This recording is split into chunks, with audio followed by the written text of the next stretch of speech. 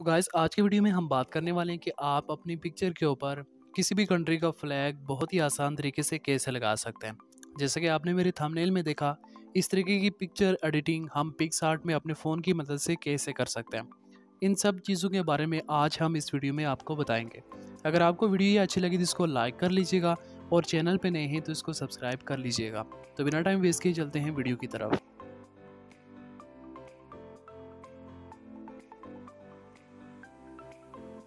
तो व्यूवर्स आपने क्या करना है कि आपने इमेज कुछ इस तरीके से शूट कर लेना है।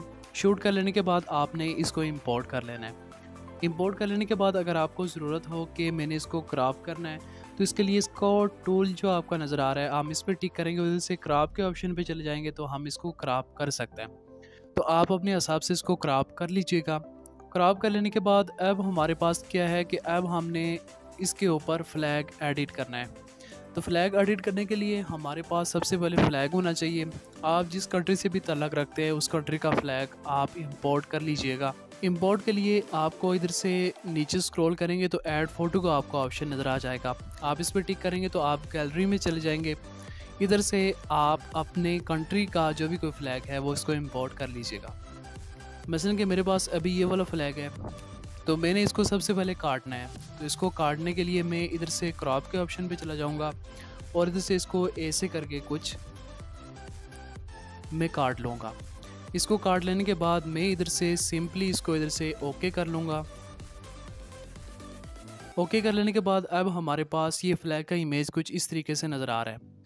मैंने इसको ऐसे करके रोटेट करना है।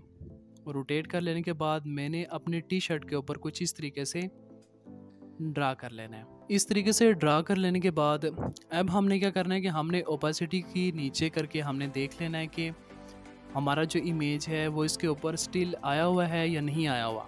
तो अब ये जिससे कि देख सकते हैं कि ये प्रॉपर तरह से हमारी इस शर्ट में आया हुआ है। अब हमने क्या करना है कि हमने ओपासिटी इसकी फिर बढ़ा के हंड्रेड परसेंट कर लेनी है। हंड्रेड परसेंट कर लेने के बाद अब हमने नीचे चले जाना है, नीचे ब्लडिंग के ऑप्शन पे। लाइटिंग में इधर से हम स्क्रीन करके देख लेते हैं डार्क करके देख लेते हैं, और उसके बाद लाइटिंग करके देख लेते हैं, और उसके बाद मल्टीपल करके देख लेते हैं। जब हम मल्टीपल करके देखते हैं तो हमारे पास कुछ इमेज इस तरीके का नज़र आ रहा है।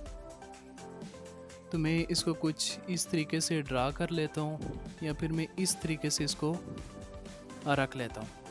इस तरीके से मेरा ये एक अच्छा इमेज आ रहा है। मैं इसको थोड़ा सा और नीचे कर लेता हूँ कुछ इस तरीके से। इस तरीके से एडजस्टमेंट कर लेने के बाद अब आपने क्या करना है कि इधर से जो इरेज़र का आपका ऑप्शन नज़र आ रहा है, हम इस पर चले जाएँगे।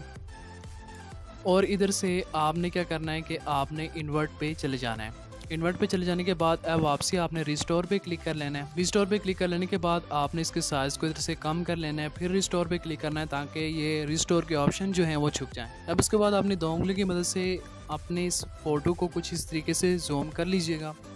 ये एक हाई रेजोलेशन इमेज नहीं है। आप जब भी कोई इंपोर्ट करेंगे तो आपके पास हाई रेजोलेशन इमेज होगा और आप पे अच्छी एडिटिंग होगी। तो उसको इसे करके जूम कर लेने के बाद अब आपने क्या करना है कि इसको इस तरीके से आपने कुछ ड्रा कर लेना है। ये जो हमारा बाजू है, ये हमारे बाजू के ऊपर ना आए और ये हमारी टी शर्ट पर कुछ इस तरीके से ड्रा हो। तो मैं जल्दी जल्दी आपको कुछ इस तरीके से ड्रा करके आपको बता देता हूँ।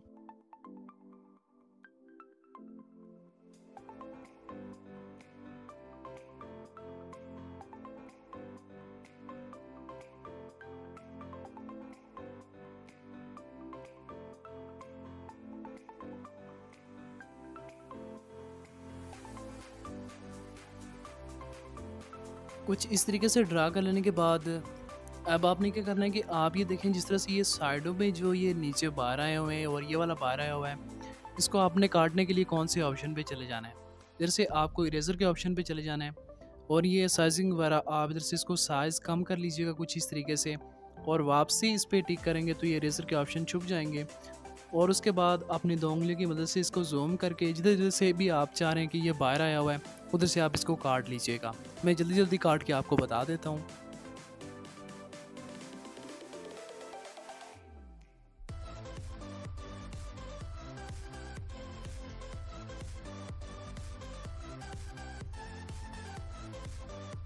बाद इधर से आपने इसको टिक कर लेना है। टिक कर लेने के बाद आप इधर से इसको डन कर लेंगे। और इधर से इस ऑप्शन पे जाके इसको सेव पे क्लिक कर लेंगे तो आपका इमेज सेव हो जाएगा। उम्मीद है कि ये वाला ट्यूटोरियल आपको अच्छा लगा होगा। अगर अच्छा लगा तो इसको लाइक कर लीजिएगा और चैनल पे नए हैं तो इसको सब्सक्राइब कर लीजिएगा। हम मिलते हैं किसी और वीडियो में, तब तक के लिए दीजिए इजाज़त। अल्लाह हाफिज़।